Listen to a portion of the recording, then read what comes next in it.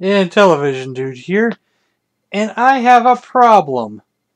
And I don't know the correct solution to this problem. So here's the deal. Someone bought some Atari games off me. I forget how many, 50 to 60 games I think. And I'm shipping them to Canada. So after doing calculations on multiple sites, I found out shipping UPS would be about $22 cheaper than shipping USPS. So no big deal. So the seller sends me the money. This is not on eBay, by the way, so it's not. So we, we have time to figure this out. Uh, seller gave me the money. I take it to the UPS store, and she starts asking me like 20 questions right off the bat here. Seems like, because at the UPS, they are more particular than they are at USPS. Very, very much more particular.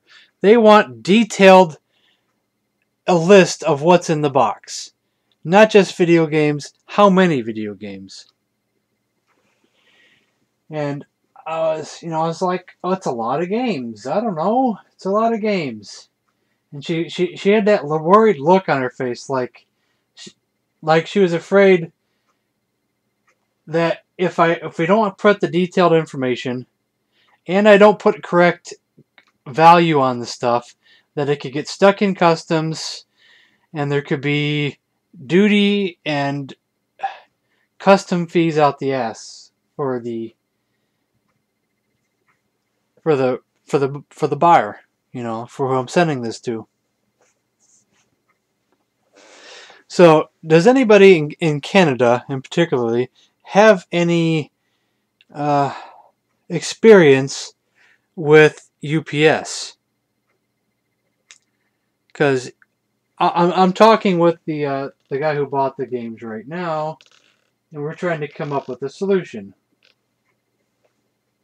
So you know, one solution is to pay 22 22 more dollars, which of course is not a not the solution we really want but we want to know what would be a possible customs value on this.